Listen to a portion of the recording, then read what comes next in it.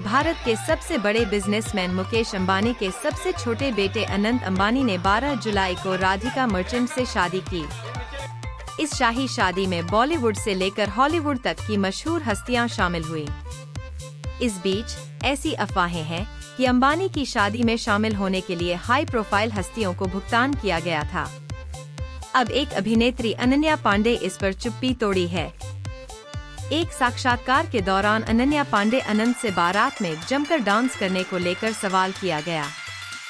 अनन्या ने जवाब दिया, वह मेरा दोस्त है। मुझे समझ नहीं आता कि लोग ऐसा क्यों सोचते हैं। बेशक मैं अपने दोस्तों की शादी में दिल खोल कर नाचूँगी। मुझे प्यार का जश्न मनाना पसंद है। अनन्या पांडे हाल ही में web series call me bae में नज़र आई थीं। करण जौहर के प्रोडक्शन हाउस के बैनर तले बनी इस सीरीज़ का प्रीमियर प्राइम वीडियो पर हुआ।